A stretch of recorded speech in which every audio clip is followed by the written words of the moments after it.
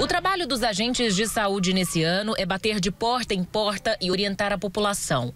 Dentro de casa, o cuidado é exclusivamente dos moradores. Dona Laudelina faz a parte dela.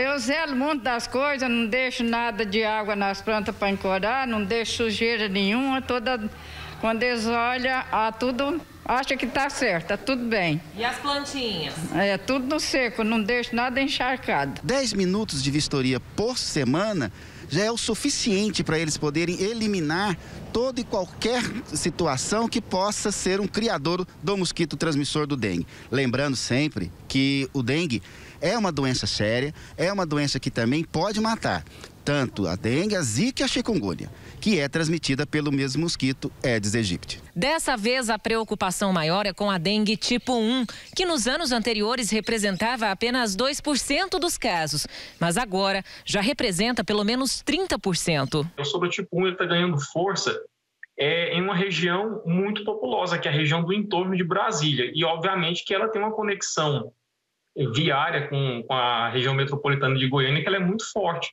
Então, a gente também pode ter esses números majorados, essa é a grande preocupação. A Secretaria Estadual de Saúde realiza a manutenção dos equipamentos de pulverização de inseticidas em criadouros do mosquito. Mas a população também deve descartar o lixo de forma correta e em local adequado, manter cisternas, fossas e caixas d'água sempre limpas, colocar areia no fundo dos vasos de plantas e manter os ralos e vasos sanitários que não são usados sempre fechados.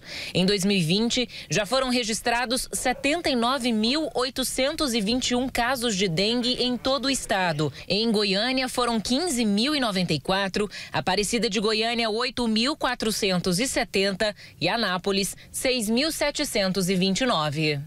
A gente está com epidemia ainda né, no, no mundo de uma forma geral relacionada à Covid e a gente não pode deixar que essas duas doenças elas se agravem no mesmo momento. Então a ideia é exatamente essa, a gente evitar a dengue para a gente poder não sobrecarregar a assistência e a gente poder passar por esse momento de uma forma relativamente tranquila.